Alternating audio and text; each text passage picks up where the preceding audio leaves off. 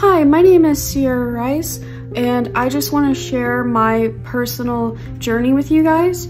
So I'm just going to read what I have written here just because it's a lot of points to highlight and I want to make sure I can get everything down and also just because it's a little emotional I just want to be able to stay on track um, and everything despite all that. Growing up my biological mother and father divorced when I was four years old.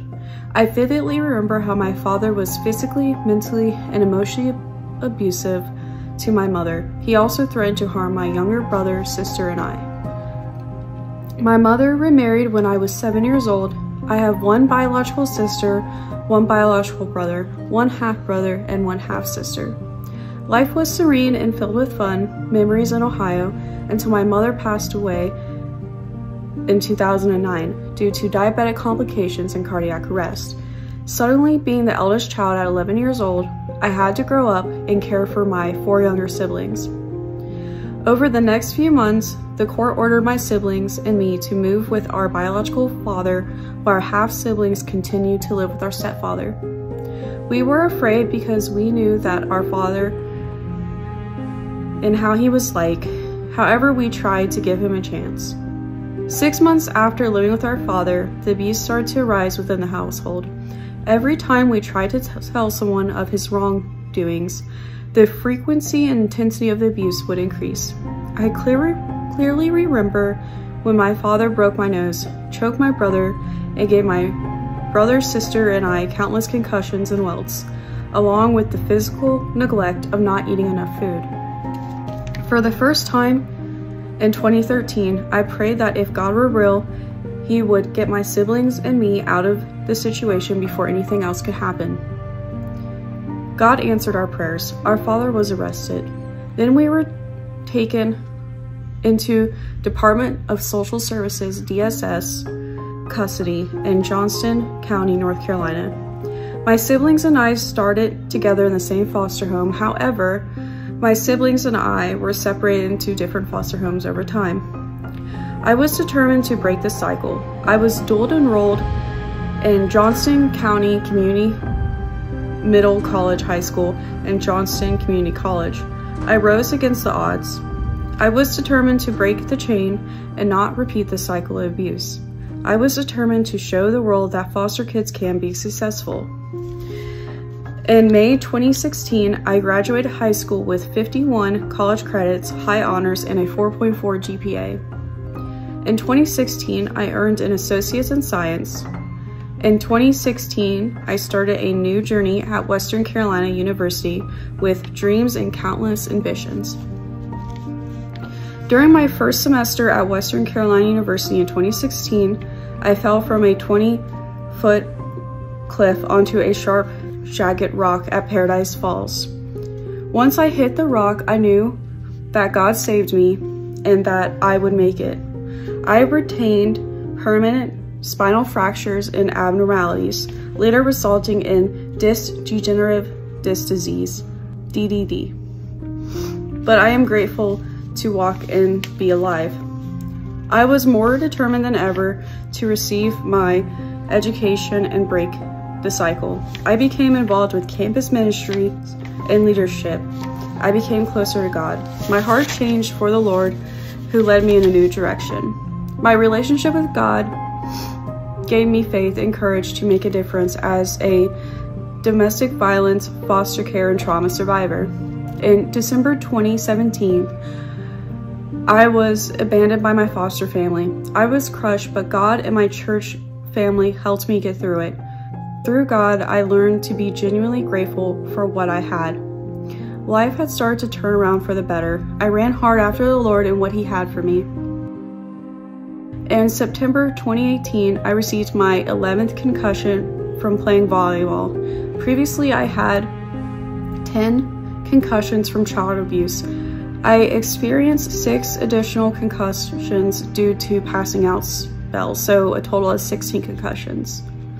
My comorbidities and symptoms increase, such as overactive bladder syndrome, irritable bowel syndrome, kidney stones, blurred vision, hearing loss, dermatological issues, body aches, chronic myofascial pain, hypermobility spectrum disorder, muscle spasms, high heart rate, low blood pressure, migraines, dizziness, obesity, fainting, anxiety, depression, nausea, abdominal pain, bloating, brain fog, overheating, sweating, fatigue, tremors, and many, many more. In May 2019, I had to take mandatory bed rest. The doctors in the mountains could not help me due to the complexity of my unknown and misdiagnosed disorder. However, I knew that God was faithful. I continued to fight and pursue my education.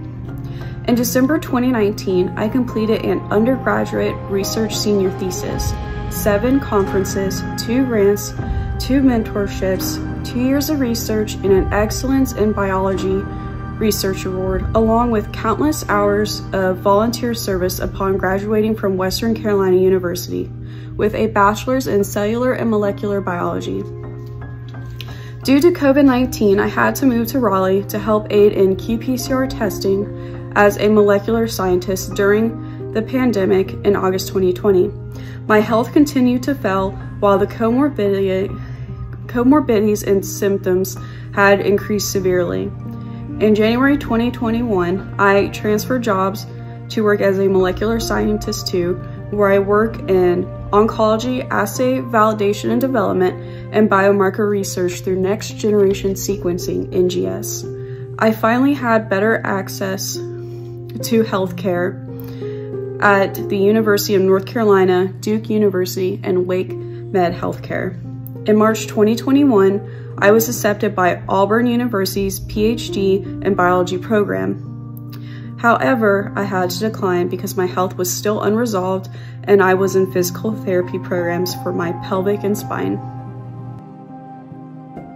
In September 2021, at UNC, I was finally diagnosed with an overlap of postural orthostatic tachycardia syndrome, POTS, and vasovagal syncope. Postural orthostatic tachycardia syndrome POTS is a condition where the autonomic nervous system is unable to regulate circulation, heart rate, and blood pressure. POTS is the overall culprit for all my comorbidities and symptoms.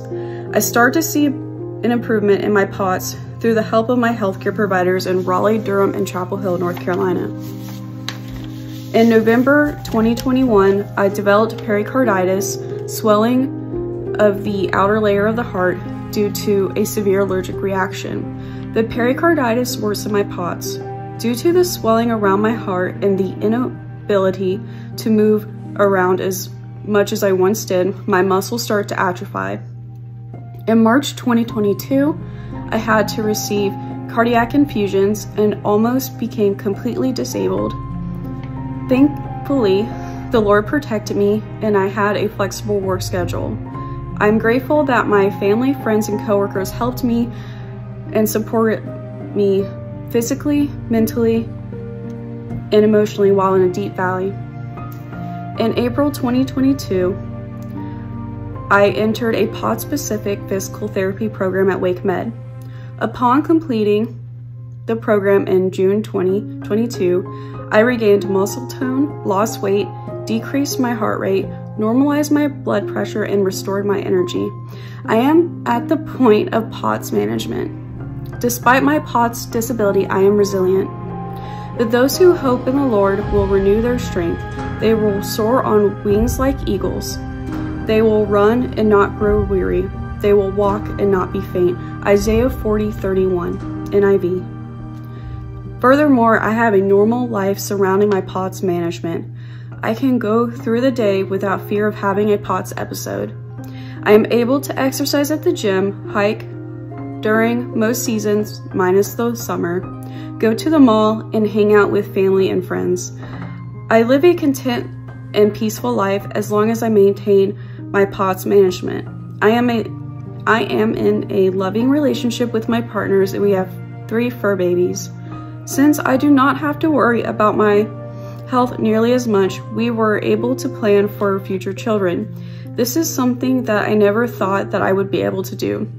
I am truly grateful that I was able to receive the education, medications, physical therapies, and other treatments that have led to successful management. Due to my POTS journey and scientific background, I want to educate everyone on POTS. In the United States, POTS is underdiagnosed due to insufficient knowledge, healthcare inaccessibility, resources, and patient advocacy. My physical therapist encouraged me to share my experience and resources from cited medical organizations and peer-reviewed journals. I started a YouTube channel discussing the educational management of postural orthostatic tachycardia syndrome, POTS, and vasovagal syncope in a presentation format. I received significant interest from my presentation. I condensed a video on my YouTube channel, POTS Resilience with Sierra, of my management plan. I continued to receive interest in POTS education and management, so I created a Facebook page and an Instagram account. I received the most interest from my Instagram account and from the reels on that page. I will continue to make content to help POTS patients and their families, friends, and coworkers understand POTS. Having POTS is challenging daily. The hardest part of my day is getting out of bed due to physical, mental, and emotional limitations. If you can find a reason to get out of bed, it sets the right mindset for the day. It encourages you to move around and start fresh. I am only 26 years old. I have a whole life ahead of me worth living. I am inspired by my progress not to regress to my previous condition. I am confident I will continue to succeed. It takes me a little while to get my meals packed, dressed, and get out the door. I plan five small frequent meals a day. Not only do I have to prepare nutritional contents of small frequent meals wisely, but I have to plan how many ounces I can consume per small frequent meal. I plan to eat each small frequent meal within a specific time frame around my daily living activities to prevent nausea, IBS, and esophageal spasms. I plan out my water intake as POTS patients need 110 to 120 ounces of water per day. Following six days a week, I participate in cardiovascular and strength training exercises. If I do not exercise, my muscles will lock up and become extremely painful due to the chronic myofascial pain and the hypermobility spectrum disorder. After exercising, I have enough energy to conquer a day at work.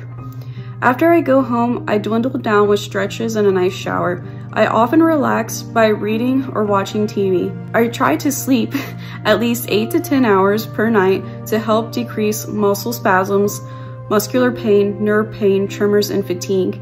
It is essential to follow a regular schedule to help decrease my heart rate and alleviate my symptoms. Please note that if a POTS patient's conditions has severely declined, they might be unable to work and have limited mobility, as I once did. In these cases, cooking, cleaning, and even moving to the restroom can be challenging. POTS is a complex condition. It is difficult for family members, friends, and colleagues to understand POTS when they physically cannot see POTS or know how or what POTS entails. Each POTS patient's own symptoms varies day from day. Please understand that POTS patients try their best to keep up with everyone. Still, sometimes this is difficult due to physically not having normal vitals, their personal symptoms and limitations, and often elevated levels of fatigue. It is okay to set boundaries to help improve your POTS. If you have POTS or suspect that you have POTS, I advise you to keep advocating for yourself until you find the right doctors to help relieve and treat your symptoms.